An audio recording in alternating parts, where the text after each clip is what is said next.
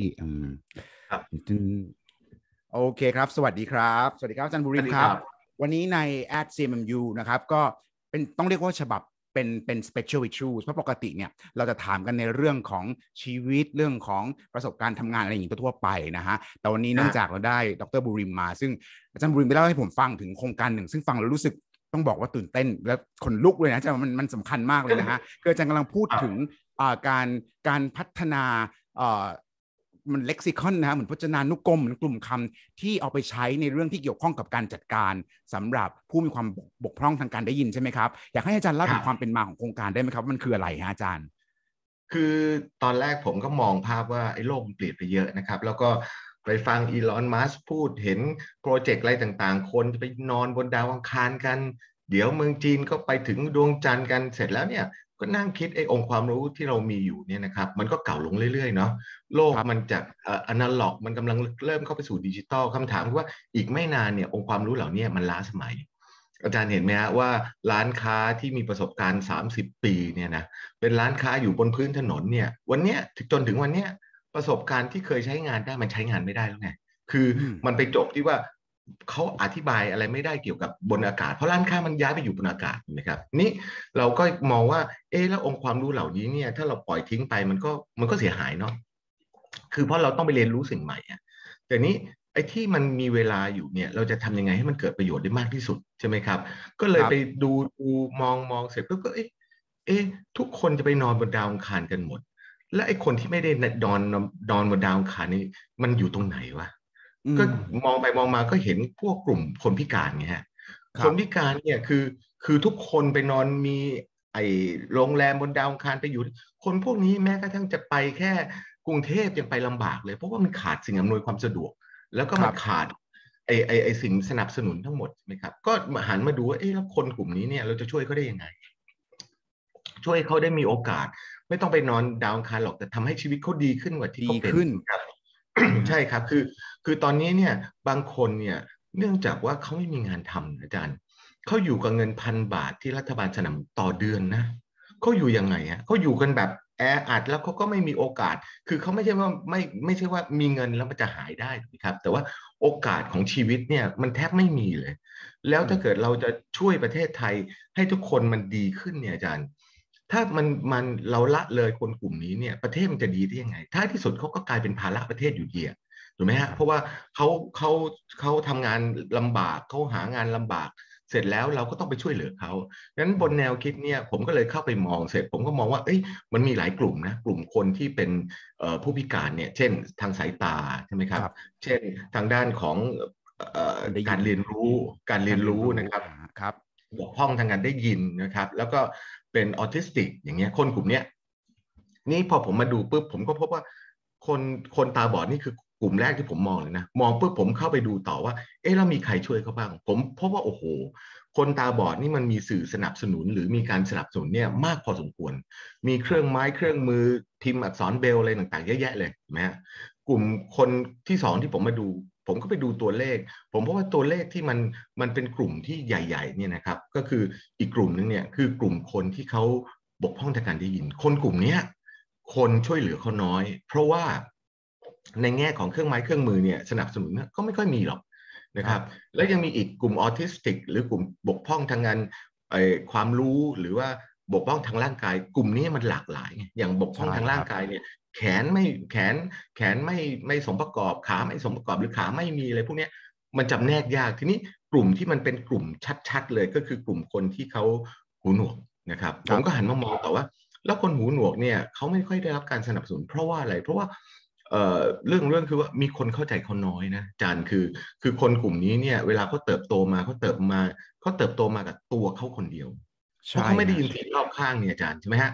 ฉะนั้นเขาจะไม่เข้าใจหรอกว่า สมมติอาจารย์จะต้องเอาอะไรไปแบ่งปันคนอื่นเนี่ยเขามองไอ้ยเขาคิดเขาคิดไม่ทันนะว่าว่าทำไมจะต้องเอาไปให้ในเมื่ออมมันมันมันก็เราก็ใช้ของเราได้ คือไม่ได้แปลว่าเขาเห็นแก่ตัวนะฮะแต่เขาเกิดมาด้วยวิธีคิดในลักษณะที่มันเป็นลักษณะแบบเนี้ยนะครับอืมแล้วจากนั้นเนี่ยเขาก็เออแล้วเขาก็มักจะโดนล้อเลียนใช่ไหมฮะไอ้ใบไอ้นวกใช่ใช่อะไรเงี้ยนะครับ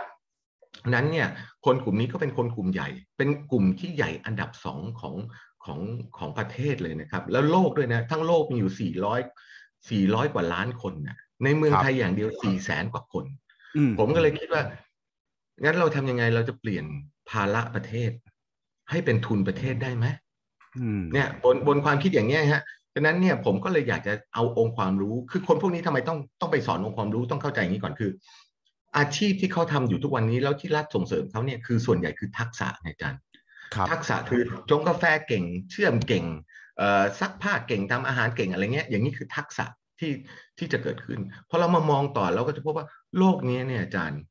ไอ้ทักษะเนี่ยนะครับ ต่อไปมันจะถูก replace โดย machine โดย robot งานที่ใช้ labor intensive เนี่ยจะเห็นไหมในโรงงานในการเชื่อมมันเริ่มเอาไอ้ ไอ้ automate machine เอา robot เข้ามาทำหมด คนพวกนี้ต่อไปทำไงถ้าไม่มีองค์ความรู้ แล้วคนพวกนี้ใช้ทักษะในการหาเงินเพื่อจะอยู่รอดถูกไหมครับเขาไม่ใช่แบบเราคือเอาความรู้ไปหาเงินอย่างอย่างอย่างพวกเราเราจะมองเห็นว่าเราเอาความรู้เนี่ยไปหาสตางค์แต่เขาต้องเอาทักษะไปหาสตางค์แล้วเขาก็ได้รับความช่วยเหลือจากรัฐ แต่รัฐก็ไม่ได้ไม่ค่อยได้เข้าใจเขามากยกตัวอย่างเช่นอาจารย์ รัฐให้สนับสนุนเช่น ให้เงินกู้เขา แต่การอาจารย์คิดดูคนที่จะไปเอาเงินกู้มา โดยที่ไม่มีความรู้ด้านการจัดการ ไม่มีความรู้บางบัญชีการตลาด ไม่มีความรู้อะไรเงี้ยเอามาแล้วมันจะทำรอดใช่มันก็เกิดปัญหาต่อว่ามันมันก็ไม่รอดอีกอะถูกไหมฮะพอมันไม่รอดแล้วเกิดขึ้นอะไรกู้มาแล้วทำเจ๊ง เจ๊งเสร็จก็ก็ต้องไปหาเงินมาอีก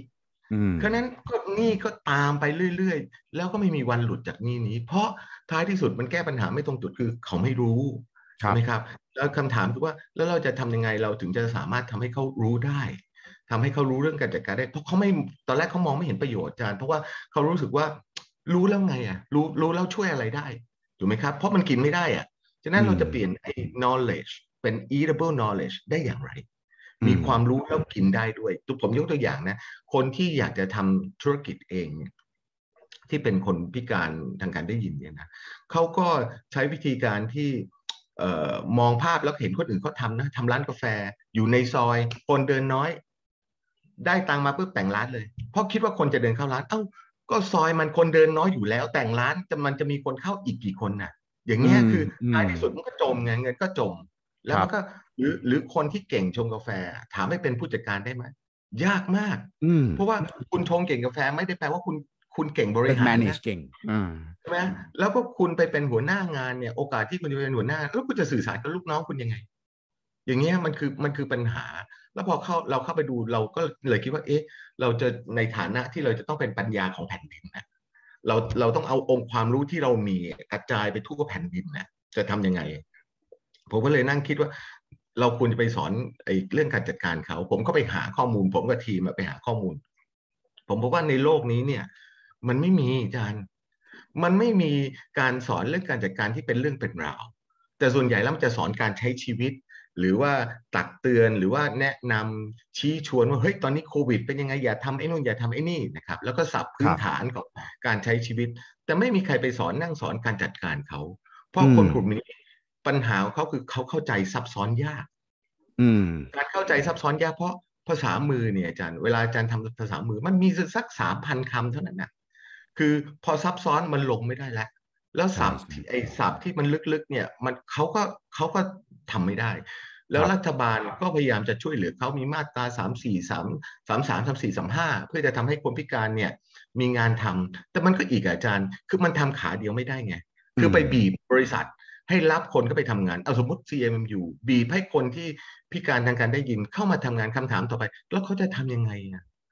ถ้าเราไม่ได้เตรียมความพร้อมไว้เจ้านาย หรือสมมติเป็นลูกน้องผมเนี่ยแล้วผมจะสื่อสารกับเขายังไงอะผมรับเพราะตามกฎหมาย แต่ผมจะให้ทำงานอะไร หลายบริษัทก็ใช้แบบนี้ไงเพื่อจะเลี่ยงก็คือว่า เอ่อบางส่วนก็คือ รับมาทำงานจริง แต่เอางานไปทำจากสารนู่นนี่นั่น แล้วก็เอามาส่งบริษัท ก็ถือว่าช่วยเหลือเขาแต่ว่าแล้วไอ้พวกนั้นจะขายได้ไหมในเมื่อมันเป็นองค์ความรู้พื้นฐานมากอะ แล้วเขาต้องรู้สึกไม่ดีนะอาจารย์เนื้อเหมือนเขาก็รู้สึกว่าตัวเองโดนปฏิบัติแบบเออไม่มีค่าด้วยนะฮะเขาไม่รู้ไงอาจารย์เขาไม่รู้ไงเพราะไอ้บริษัทมันรับของไปแล้วมันก็จะเอาไปไหนก็ไม่รู้ใช่ไหมแต่ตัวเองก็นึกว่ามันขายได้คือไม่รู้อะดังนั้นเอ่อในโลกของความเป็นจริงมันคืออะไรเนี่ยนะแล้วฉะนั้นเนี่ยสิ่งที่ผมมองก็คือว่าจริง ๆ แล้วเนี่ยมันไม่ใช่แค่การรับเข้าไปทำงาน เพื่อจะเป็นลดภาระ ไอ้รับทำงานมันต้องไปแก้ระบบของการทำงานด้วยให้เซิร์ฟคนกลุ่มนี้ เพราะคนกลุ่มนี้เข้าไปทำงานก็เป็นหัวหน้าไม่ได้นะอาจารย์ สิ่งสำคัญคือผมก็มองว่าผมอยากจะสอนให้คนให้ให้คนที่เขาพิการทางการได้ยินเนี่ยนะเขาเป็น entrepreneur เขามีบริษัทเป็นของตัวเอง เขาสร้าง environment ของเขาเองถูกไหมอาจารย์เขาสร้าง environment ของเขาเองเขาเป็นเจ้าของบริษัท วันหนึ่งเขาอาจจะจ้างคนมือดีมือดีหูดีมาเป็นลูกน้องเขา เขาสร้างระบบของเขาเอง แล้วเขาก็มีความสุขอยู่บนอย่างนั้น แต่ก่อนการที่เขาจะถึงตรงนั้นได้เขาจำเป็นที่จะต้องรู้ก่อนว่ามันคืออะไรคือคนเราเนี่ยนะครับ มันทำอะไรเกินกว่าที่ตัวเองรู้ไม่ได้หรอกครับมันต้องเรียนเรียนก่อน ถึงจะรู้ว่าไอ้กล่องใบใหม่เป็นยังไงอาจารย์เห็นไหมที่เขาพูดกันว่า out of the box อะไรต่างๆนานาคือคำถามคือไอ้กล่องใบใหม่เนี่ยมันเป็นยังไงถ้าคุณไม่รู้จักกล่องใบใหม่อย่างอาจารย์พูดได้หลายภาษาเงี้ย ผมบอกว่าอาจารย์มาบอกว่า ไหนลองคิดศัพท์ภาษาอิตาเลียนดิบองจูอะไรเนี่ยเอ้ยบองจูฝรั่งเศสใช่ไหมเจ้าใช่ไหมเนี่ยครับครับผมคิดไม่ได้หรอกถ้าผมไม่รู้ ทั้งหมดก็กลายเป็นความความคิดใหม่ในกล่องใบเก่า คุณไม่ได้สร้างสรรค์ขึ้นมาเลยถูกไหมเพราะว่าคุณก็ยังติดอยู่ในกล่องใบเก่าเพราะคุณไม่รู้จักใบกล่องใบใหม่มันเป็นยังไงฉะนั้นคุณไปไม่ได้หรอก คนพิคนที่เขาบกพร่องทางการได้ยินเหมือนการจานถ้าเขาไม่รู้กล่องใบใหม่ เขาจะไปบริหารเนี่ยมันก็ผิดผิดถูกถูกอะท้ายที่สุดมันก็จะไปจบที่ว่า เอ้ยไม่มีคนแล้วทำไงวะ ก็ต้องใส่เงินเด็กใส่เงินก็หาย ใส่เงินก็หาย ก็เจ๊งเด็กเห็นไหมฮะ นั้นไอ้สิ่งเหล่านี้เราจะเปลี่ยนภาระประเทศให้เป็นทุนประเทศได้อย่างไรอ่าบนแนวคิดนี้ก็ถึงต้องพอเข้าไปเริ่มดูทีม ผมกับทีมทีมงานก็เริ่มเข้าไปดูดูเสร็จก็โอ้ปัญหาหนึ่งที่มันมีปัญหาเยอะคือ มันไม่มีคำศัพท์เรื่องการจัดการใช่ไหมคือมันใช้ภาษามือในชีวิตแทนคำจัดการใช่ไหมครับ แล้วแล้วเราไปเจอปัญหาอีกเยอะแยะตัวอย่างเช่นเขาไม่มีคำใหญ่คำว่าคำใหญ่นี่ตัวอย่างนี้คือจันเราพูดว่าองค์กรเนี่ยเขาไม่รู้หรอกองค์กรคืออะไรอืมองค์กรนี้นะนี่คือองค์กรเนี่ยเนี่ยองค์กร องค์กรเป็นตึก หรือองค์กรเป็นคน อาจารย์อาจารย์จะไม่เจอคำถามแบบนี้กับคนทั่วไปถูกไหมคือองค์กรมันเป็นตึกเป็นคน ก็องค์กรมันก็คือองค์กรเป็นทั้งตึกทั้งคนที่มันรวมกันอยู่อย่างเงี้ยไม่รู้จัก หรืออาจารย์ไปพูดคำว่าเครื่องมือเงี้ยเขาไม่รู้จักอะเครื่องมือคืออะไร ถ้าอาจารย์อาจารย์จะพูดคำว่าเครื่องมือ เพราะอะไรที่มัน abstract เขาเข้าใจลำบาก แต่ถ้าอาจารย์จะพูดว่าเครื่องมืออาจารย์ต้องบอกไขควง นี่คือเขารู้แล้วไขควงมีหน้าที่ทำอะไร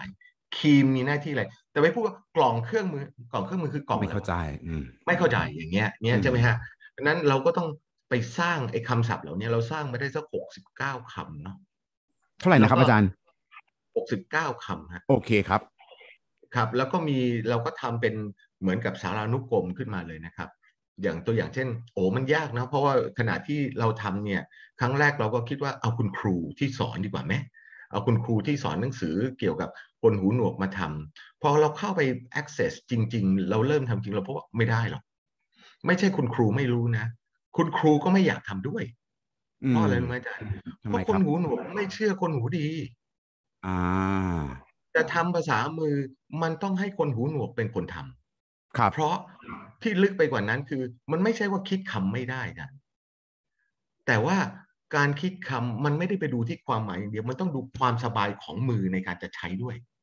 คนเหล่านี้ใช้มาจะนั้นมันก็ต้องมือเขาจะเป็นยังไง ตัวอย่างเช่นสวัสด analysis อย่างเงี้ยสวัสด analysis เนี้ยเขาสะดวกไหมมันอาจจะทำได้หลายหลายท่านะ แต่ถ้าคนหูหนวกเขาไม่สะดวก เขาไม่เอาเห็นไหมแล้วเราคาดหวังว่า ข้อแรกคือภาษามือเนี่ยอาจารย์มันมันมีกลุ่มย่อยในสังคมเต็มไปหมด ทุกประเทศไม่เหมือนกัน แม้กระทั่งประเทศไทย ภาษามือก็ไม่เหมือนกัน อยู่ที่ว่าโรงเรียนไหนสอนยังไง และมันเป็นภาษามือตั้งแต่ภาษามือธรรมชาติ คือใช้เพื่อจะจะจะมีชีวิตรอดนะสบายผสมคำได้บ้าง ภาษามือสากล ภาษามือแต่ละที่ไม่เหมือนกันเลย เราก็นั่งคิดว่าถ้าเกิดเราทำอย่างนี้เนี่ยนะเราจะทำยังไงถึงจะสามารถทำให้เนื่องจากการจัดการไม่มีปั๊บเนี่ยจะทำยังไงถึงจะให้ภาษามือเนี่ย เป็นภาษามือที่เป็นสากลไปเลย ฉะนั้นเพื่อจะให้เป็นสากลไปเลยอาจารย์ต้อง dispute มันนะคือต้องแพร่ขยายการใช้ให้มากที่สุด แล้วให้มันถูกใช้กลายเป็นส่วนหนึ่งของชีวิตของคนถูกไหมครับดังนั้นเราถึงไปร่วมมือกับสมาคมคนหูหนวก โรงเรียนโสตศึกษาทุ่งมหาเมฆเพราะคนเหล่านี้มีอิทธิพลต่อวิธีคิดของเขาใช่ไหมลูกศิษย์เขาคนที่มาทำงานร่วมกับเขาหรือสมาคมคนหูหนวก มันมีซับเอ่อเอ่อ organization ที่อยู่ภายใต้เขาเยอะจะทำไง แล้วเขาก็เป็นเป็น group leader อะใช่ครับ เป็นผู้นำทางความคิดของคนใช่ไหมครับ อย่างเช่นครัคุณวัชรินทร์คุณเอ่อวิทยุทธ์ซึ่งเขาเป็นประธานเนี่ยนะครับ เป็นนายกสมาคมเนี่ยก็มีอิทธิพลต่อคนคนหูหนวกเราก็ใช้เขาเนี่ยเพื่อจะทำให้เผยแพร่ไป แล้วหลักสูตรนี้เนี่ยพอเราพอเราทำเสร็จเนี่ย เราไปลองไปใช้ เราพบว่ามันได้ผลดี เพราะว่าคนเนี่ย เข้าใจมากขึ้นว่าทำยังไง เป็นยังไง เราได้ทุนมาล้านเดียวนะอาจารย์ จากสครัวบชก็โอ้โหกว่าจะขอได้ ก็คือคนไม่เห็นความสำคัญ ก็ไม่รู้หรอกอาจารย์นึกว่าล้านหนึ่งนี่มันมันน้อยนะ เพราะอะไรรู้ไหมอาจารย์ เราสอนหนังสือกับนักเรียนเออกับนักศึกษาเราเนี่ย ในห้องหนึ่งวิชาเราใช้คนหนึ่งคนในการสอนสามชั่วโมงนะครับ ถ้าสอนแบบนี้อาจารย์ อาจารย์ต้องใช้คนสี่คน เพื่อสอนแบบเดียวกันนะ นั่นคืออมคนหูหนวกที่เป็นวิทยากรหนึ่งคน คุณครูหูหนวกไอ้ยคุณครูที่สอนหูหนวก คือเขาหูดีนะ แต่เขาสอนคนหูหนวกมาอีกหนึ่งคน ล่ามอีกสองคนอืมล่ามภาษาอีกสองคนฉะนั้นอาจารย์เห็นว่าเพื่อจะพัฒนาคนเหล่านี้ต้องใช้เงินมากกว่าปกติเยอะ แต่คนก็จะมองภาพว่าทำไมแพงอะทำไมแพง เหมือนเหมือนกันอาจารย์ อาจารย์ปลูกบ้านแบบเดียวกันเลยนะ บนพื้นดินพื้นลาดเนี่ย กับบ้านแบบเดียวกันเนี่ย แต่อาจารย์ไปปลูกบนเขาอะแล้วบ้านพื้นราบขายห้าแสนบ้านบนเขาขายเจ็ดแสนแล้วอาจารย์บอกบ้านบนเขามันแพง มันไม่ใช่ถูกไหมอาจารย์เพราะว่าเขาจะกว่าเขาจะขนหินขนดินขึ้นไปบนเขาเนี่ยเขามีค่าใช้จ่ายครัไปบสอนคนเหล่านี้สอนเอ่อคนผู้พิการทางการได้ยินเหล่านี้ก็เหมือนกัน ต้องใช้คนมากสี่คน แล้วอาจารย์สอนสามชั่วโมงเข้าใจ แต่อาจารย์สอนสามชั่วโมงเขาเขาไม่เข้าใจเท่ากับ คอนเทนต์ที่อาจารย์สอนปกติ ผมยกตัวอย่างนะ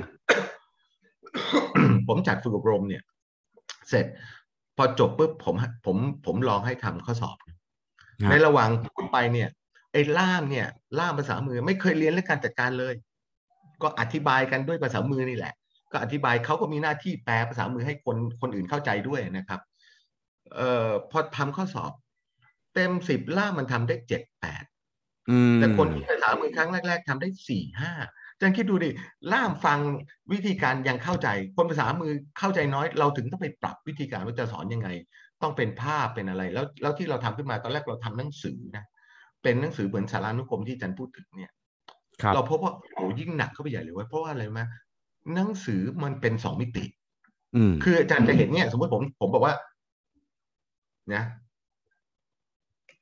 อย่างเงี้ย อาจารย์ไม่เห็น ความลึกของมัน อืม มันเป็นระนาบอย่างอย่างเงี้นี้ยนะอืมผมนะผมชื่อชื่อบิ๊กเอ่อบิ๊กเงี้ย อาจารย์ไม่เห็นความลึกของมัน พอไม่เห็นความลึกเราต้องเอาไปทำเป็นเหมือนกับวิดีโอแล้วไปใส่ YouTube เพื่อจะพอเขาเห็นภาพเนี่ยเขาทำต่อไม่ได้เขาคลิกปุ๊บเขาไปเห็นภาพนะอ๋อมันแปลว่าอะไร มันทำออืย่างนี้มคืออย่างเงี้ย แล้วเราก็จะได้ช่วยเขาท้ายที่สุดแล้ว แต่เราช่วยเขาความรู้ไม่พอหรอกอาจารย์ การที่เราเขามีความรู้จากเราอย่างเดียว มันก็ non eatable knowledge อยู่เนี่ยมันเป็น knowledge ที่ non eatable อะเพราะจะ eatable ได้อาจารย์ต้องสร้าง supply chain ของอาชีพเพื่อจะรองรับเขา ใช่ครับ อืมไม่งั้นเนี่ยมันไม่เกิดประโยชน์อะไรหรอก แล้วแล้วอาชีพมันไม่ได้สร้างยากนะอาจารย์ ผมยกตัวอย่างเช่นนะ อาจารย์คิดว่าคนหูหนวก มันก็เป็นคนเหมือนกันถูกไหมมันก็อยากเที่ยว อยากไปเจออะไรใหม่ ๆ แต่คำถามว่าคนหูหนวกจะมาเที่ยวเมืองไทยเนี่ยก็คงลำบากนะเพราะว่าอืม facility ในเมืองไทยเนี่ย มันไม่ได้มันไม่ได้ไม่เอื้อเพื่อให้เขาไปไปเที่ยว ชาวบ้านร้านค้าเขาก็ไม่เขาก็สื่อสารภาษามือกันไม่ได้ทั้งนั้นเนี่ย มันเป็นอีกโลกหนึ่งอะมันคืออมเขาใช้ภาษาการสื่อสารคนละแบบกับเราดีกว่าจะไปพูดว่าเขาเป็นคนพิการเลยแล้วกัน แต่เขาใช้ครับคนละภาษากับเราอะ ซึ่งมันเข้าใจอืมยากอะครับดังนั้นเนี่ย แต่ถ้าเราทำเรา provide facilities ให้เขา เราทำให้ให้มันเอื้อต่อต่อการท่องเที่ยวอาจารย์คิดดูดิคนเหล่าเนี้ยจะพานักท่องเที่ยวที่หูหนวกเข้ามาเที่ยวประเทศเรา แล้วนำเงินเข้าประเทศได้อีกเท่าไหร่อืมเขาจะเปลี่ยนตัวเองจากวันละพันไอ้เดือนละพันที่เขาได้ ไปเป็นมีรายได้ขึ้นมาเนี่ย เท่าไหร่จันครับเมื่อเราเมื่อเขาไม่ต้องพึ่งเราเขาเสียภาษีให้เราด้วย อืม อาจารย์ได้แต่บวกกับบวกเท่านั้นน่ะ คือประเทศครับได้แต่บวกบวก แล้วเราในฐานะวิทยนเราก็ carry สิ่งเหล่านี้ไป เหมือนองค์ความรู้อันนี้ผมบอกเลย ผมไม่ได้ต้องการให้เป็นของผม ผมไม่ต้องการ เพราะว่าท้ายท้ายที่สุดแล้ว ข้อแรกคือผมใช้ภาษามือไม่เป็น ข้อที่สองวิไลการจัดการคงไม่เอาภาษามือของคนหูหนวกมาสอนในวิไลการจัดการหรอกเดี๋ยวคนก็จะงงตกลงมันสอนคนดีหรือคนหูหนวกกันแน่วะใช่ไหมผมต้องการให้มันเป็น Public Domain ให้มันไกลมากที่สุด เช่น วิไลราชสุดาที่ไม่โดนอยากจะใช้คุณเอาหลักสูตรนี้ไปใช้เลย ผมช่วยทำให้คุณแต่คุณเป็นคนใช้ สมาคมหูหนวดอยากใช้เอาไปใช้ โรงเรียนสดศึกษาอยากใช้เอาไปใช้นี่อาจารย์มันถึงจะเข้าไปสู่วิธีคิดของการเป็นปัญญาของแผ่นดิน เราสร้างปัญญาให้แผ่นดินนี้ได้ใช้ และมันมีประโยชน์กับคนที่เขาได้ใช้นะครับนั่นคือภาพภาพที่ผมคิดนะมันเป็นภาพที่ดีมากเลยนะอาจารย์แล้วผมมองว่าจริงๆแล้วเหมือนอาจารย์ จุดไม่ขีดก้อนอจุดไม่ขีดอันแรกแล้วเนี่ยแล้วไฟมันเริ่มติดแล้วฮะแล้วอาจารย์พูดประเด็นที่บอกว่า แล้วยังไงต่อที่ทำให้ความรู้มันกลายเป็นสิ่งที่จับต้องได้กินได้หาได้ ซึ่งมันอาจต้องเป็นสเต็ปที่สำคัญด้วยนะฮะอาจารย์ แล้วผมดีใจมากที่อาจารย์บอกว่ามันมันควรเป็นความรู้สาธารณะคือแน่นอนว่าอาจารย์ก็เป็นอาจารย์ในสาขาการจัดการ และคิดว่าองค์ความรู้ด้านนี้มันสามารถก่อจากอาจารย์ได้ด้วย แต่ว่าเราก็ต้องการให้ในสายอื่น ๆ ที่เขาเกี่ยวข้องกันมาทำมาใช้มาร่วมกับเราได้ด้วย อาจารย์พูดเนี่ยถูกคือผมทำทุกอย่างไม่ได้หรอกเพราะองค์ความรู้ที่ชีวิตจะใช้มีอีกเยอะมาก แต่ผมจะจุดประกายให้ว่าเราทำแบบนี้สิ มันมีต้นแบบแล้วนะ มันมีวิธีการแล้วนะ ผมเขียนไอ้ไอ้ report ที่ส่งไปเนี่ย ถ้ามันเผยแพร่คุณจะเห็นว่าผมทำด้วยวิธีไหน แล้วใช้งบประมาณที่ไม่เยอะนะมากนักเนี่ย คุณเอาไปทำแฟรนไชส์มีแฟรนไชส์มีองค์ความรู้อื่นๆ แล้วก็มีธุรกิจอื่น เลี้ยงหมาไอ้โทษตัดขนหมา ทำอะไรโอ้อีกเยอะแยะไปหมดเลย แล้วเราก็จะสร้างให้เป็นฮับ สมมุติท่องเที่ยวนะอาจารย์เป็นเป็น hearing impairment hub for tourists ไม่มีในใครในโลกนี้ทำในโลกนี้ใช่ฮะเราต้องทำเป็นคนแรกถูกไหมอาจารย์ แล้วถ้าเราทำเป็นคนแรกเนี่ยคือคือเราไม่ได้แจ๋วเทคโนโลยีไงฉะนั้นเนี่ยเราแจ๋วท่องเที่ยว ไอ้นี่คือจุดแข็งเราใช่ไหมคนที่แพ้เนี่ยอาจารย์พ่ายแพ้เนี่ย มันคือคนที่เกมกระดานแพ้ของของไอ้ธุรกิจก็คือทะลึ่งเอาจุดอ่อนของตัวเองไปชนจุดแข็งชาวบ้าน ไปโม้ว่าตัวเองเก่งเทคโนโลยีไม่ใช่ประเทศเราไม่ใช่เทคโนโลยีขนาดนั้น แต่เรามีท่องเที่ยวเจ๋ง service ทางท่องเที่ยว hospitality อะไรพวกนี้เราเจ๋งเราต้องเอาจุดเด่นของเราไปขายแล้วทำให้ทั่วโลกมาเที่ยวเรา มันถึงจะขายได้ไงอาจารย์ ถูกไหมครับ อย่างเงี้ยอาจารย์ ผมว่าสิ่งที่อาจารย์ทำและเหมือนเราหลาย ๆ คนในวิทยาธรรมเนี่ยก็คือทำอย่างไรดีที่จะทำใน step ต่อไปที่จะทำให้คนที่อยู่ในธุรกิจหรือคนที่ไม่เข้าใจโลกของผู้มีความบกพร่องทางกายภาพหรือทางจิตเนี่ย ได้เจอได้พบปะได้คุยและได้ได้เข้าใจใช่ไหมฮะอาจารย์ อาจารย์คิดว่าคือคือปักนี้ผมอยากให้ dedicate ให้อาจารย์มากๆเลยด้วยซ้ำไปเพราะว่าทำยังไงดีที่ให้แบบชาวซีเอ็มยูเราเนี่ยอาจารย์คิดว่าเราทำอะไรหรือร่วมอะไรกับอาจารย์ได้บ้าง ในในโครงการทำนองนี้ในอนาคตที่เกิดขึ้นฮะเพราะว่าผมว่ามันเป็นเรื่องที่สำคัญมากๆ แล้วหลาย ๆคนนะฮะอาจจะไม่เคยได้ยินหรือไม่แน่ใจ แต่พอได้ยินของอาจารย์วันนี้ผมคิดว่าหลายคนเนี่ยเกิดกำลังเลยว่าเฮ้ยมันน่าสนใจอาจารย์อาจารย์มองภาพยังไงบ้างครับ คือผมผมมองภาพว่าทุกคนช่วยได้หมดนะอย่างตัวอย่างที่ผมพูด supply chain เนี่ยอาจารย์อาจจะไม่รู้ภาษามือ แต่แต่ถ้าอาจารย์เข้าไปศึกษาอาจารย์จะเริ่มเข้าใจว่าอ๋อภาษาไอ้ไอ้คนที่เป็นภาษามือเนี่ยไอ้คนที่เขาบกพร่องทางการได้ยินเนี่ยเขามีปัญหาอย่างเนี้ยเขาต้องการอาชีพอะไรของคนคนที่หูหนวกจะใช้ได้บ้างมมติอาจารย์บอกมานั่งคุยกันเป็นสัมมนาอย่างเงี้ยนะครับ อันนี้ทำได้ไหมอันนี้ทำได้ไหมอย่าเริ่มจากเงิน เริ่มจากแรงใช่ไหมเพราะเพราะคนพวกนี้เริ่มจากเงินมันมันหายหมดอาจารย์ ต้องเริ่มจากแรงก่อนเริ่มจากใช้แรง ใช้วิธีคิดเพื่อจะไปหาเงิน ไม่ใช่เริ่มจากเอาเงินก้อนมาแล้วมาถมถมถมจบ ผมยกตัวอย่างเช่น เรื่องของท่องเที่ยวเนี่ยอาจารย์การการท่องเที่ยวที่จะทำไกด์ทัวร์เนี่ยไม่ได้อยู่ๆไปตั้งบริษัทไกด์ทัวร์ไม่ใช่ใช่ไหมฮะเพราะท้ายที่สุดแล้วคนที่ได้คือคนหูหนวกในกรุงเทพไม่ใช่ diffusion ของมันต้องแพร่ทั่วประเทศในเวทด้วยด้วยความเร็วสูง ฉะนั้นทำไงตัวอย่างเช่น อยากเที่ยวน่าน มีคนหูหนวกที่น่าน คุณมาเป็น local expert เราดิถูกไหมแล้วก็เราเราไม่ได้จ้างคุณเป็นแบบลูกจ้างประจำนะ แต่เราส่งลูกค้าให้คุณ คือไอการปรับเรื่องภาษามือความเข้าใจเนี่ยต้องใช้ระยะเวลานิดนึงนะครับ แต่เราก็จะไปหาวิธี แต่เราส่งมาให้คุณเที่ยว สมมติคุณปีนคุณปีนต้นตาลเก่งที่น่าน คุณก็ไปเลยแล้วเราขายให้คุณเขาไปหาคุณปั๊บคุณก็พาเขาไปเที่ยวนู่นนี่นั่น แล้วก็ register คนเหล่านี้ไว้ก่อนใช่ไหมเช้าพาไป ปีนต้นตาล เด็ดลูกตาลมาเฉาะทำน้ำทำขนมทำอะไรกันเสร็จ เสร็จเย็นกับนักท่องเที่ยวคนหูหนวกเรานี่ก็กลับมากลับเสร็จแล้วก็ส่งตังไปให้คนคนที่เขาเป็นคนพิการที่เป็นไกด์ทัวร์นะเป็น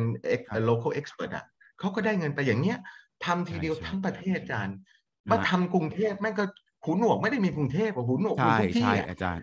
อย่างเงี้ย ดังนั้นคนคนคนที่มองเห็นภาพนี้ก็จะสามารถร่วมผมร่วมกับผมได้ แม้กระทั่งเป็นอาสาสมัคร ช่วยเราในลักษณะที่ คือผมก็ไม่ได้ใช้ภาษามือได้นะอาจารย์ แต่ว่าเอาไหมเวลามีจัดกิจกรรมกิจอะไร คือคุณยอมลดค่าแรงคุณหน่อย คือผมรู้ค่าตัวทุกคนสูง แต่ลดค่าตัวหน่อยแล้วไปช่วยกิจกรรมเหล่านี้กันไหมใช่ไหมฮะจัดสัมมนาเรียนรู้ร่วมกัน แล้วก็ผมมีองค์ความรู้จำกัดในเรื่องของการตลาดในเรื่องของอินโนเวชันแต่ผมไม่มีความรู้ไฟนองไฟแนนซ์เราจะไปช่วยเขาได้ยังไงหรือผม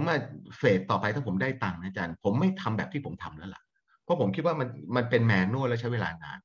ผมกำลังมองว่าเอา AI มาจับเลย ใช่ใช่ฮะนะสมมติผมบอกเนี้ยอาจารย์ดูนะปุ๊บอย่างนี้แปลว่าวิสัยทัศน์เงี้ยพอมันจับปุ๊บมันเรียนเลย คราวนี้ผมสอนง่ายเลย คนทำตาม แล้วสื่อสารกันมันขึ้นเป็น AI แบบเนี้ยใช่ไหมแต่โปรเจกต์เนี้ยมันยากขึ้นไปอีกใช่ไหมหรือทำ parallel เลย อาจารย์ชอบร้องเพลงผมเห็นอยู่ใน TikTok เยอะจะลองคิดดิเพลงสำหรับคนหูหนวกจะเป็นยังไง ยังไม่มีเลยนะอาจารย์ ก็ก็ก็ตอนนี้เขาก็ใช้เครื่องดนตรีปกติใช่ไหมแต่ถ้าเกิดอาจารย์อาจารย์อาจารย์มองว่าเขารับเสียงไม่ได้ แต่สิ่งที่เขารับได้คือ touch บน beatริทึมถูกไหมฉะนั้นเวลาเขาเขาเขาเขาฟังเพลงเนี่ยเขารับฟังเสียงไม่ได้หรอกแต่เขาเอามาไอไอเฮดโฟนมาใส่ในหูเขาเนี่ย บีทมันจะจะทำให้เกิดการใช่ไหมฮะแล้วอย่างเงี้ยคือมันไม่ต้องกีตาร์มันอาจจะเป็นเครื่องดนตรีชนิดใหม่ในโลกนี้ แต่มันทำให้เขามีความสุขเขานั่งผมยกตัวอย่างเช่นนะ เบาะที่มันมีการเคลื่อนไหวของเบาะทั้งหลังและก้นเนี่ย มันก็จะทำให้เขารู้สึกถึงดนตรีของเขาอะ มันเป็นดนตรีเขาไม่ใช่ดนตรีของเรานะอาจารย์ใช่ครับอย่างเงี้ยก็ได้ใช่ไหมทุกคนถ้าทุกคนมาร่วมกันเนี่ยนะอาจารย์ แล้วมันจะกลายเป็น product ซึ่งเอาไปให้เขาขายได้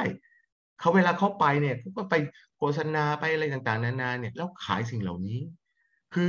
เพอเอิญมันเป็นโควิดนะถ้าไม่เป็นโควิดจริง ๆ แล้วเนี่ยมันมีสัมมนา คน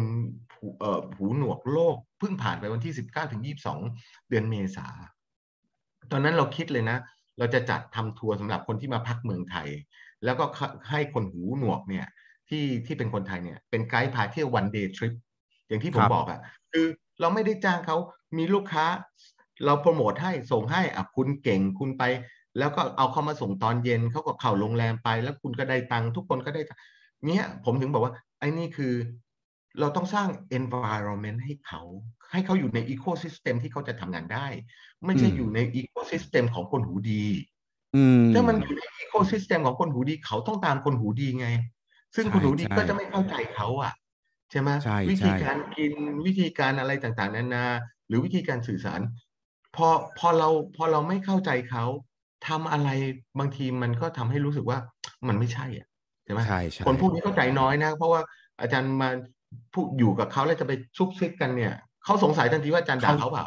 ใช่ฮะอาจารย์ คืออาจารย์พูดข้อหนึ่งแล้วผมรู้สึกว่ามันมันเกิดสมองมันเป็น light เป็นแบบเขาเรียกนะหลอดไฟอะ light bulb moment เนี่ยตอนอาจารย์บอกว่าอย่าคิดว่าเขาพิการ ให้คิดว่าเขาสื่อสารคนละแบบคนละภาษากับเรา คืออันนี้คือใช่นะอาจารย์ผมเออจริงว่ะที่อาจารย์พูดเนี่ยคือการใช้ชีวิตของเขามันคือมิติในการสื่อสารของเขา ซึ่งเราอาจจะต้องอาจจะต้อง adjust เราเราเปลี่ยนเป็นภาษาอังกฤษอย่างเงี้ยมันคือเรื่องเดียวกันนะอาจารย์พี่หนุ่มผม โอ้อาจารย์วันนี้คือผมว่าแมสเซจตัวนี้สำคัญมากฮะแล้วผมคิดว่าจริง ๆ แล้วในซีมัมยูหลายคน ถ้าเคยได้ยินแล้วอาจจะแบบไม่แน่ใจคราวนี้น่าจะมารวมตัวกันได้แล้ว ถ้าเกิดว่าสนใจอยากจะทำอะไรกับอาจารย์อาจารย์บิ๊กของเราเนี่ยผมคิดว่าเรื่องนี้เป็นเรื่องสำคัญ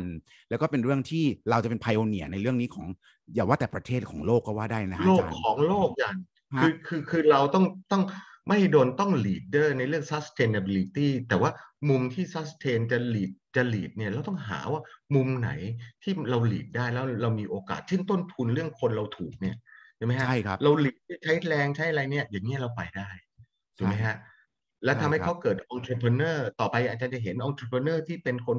คนพิการทางการได้ยินกลายมาเป็นคืออย่าจริง ๆ แล้วเนี่ยไอ้ที่ผมพูดถึงว่าอาจารย์มองเป็นเขาเป็นคนต่างดาวที่เราสื่อสารกับเขาอะแต่คือ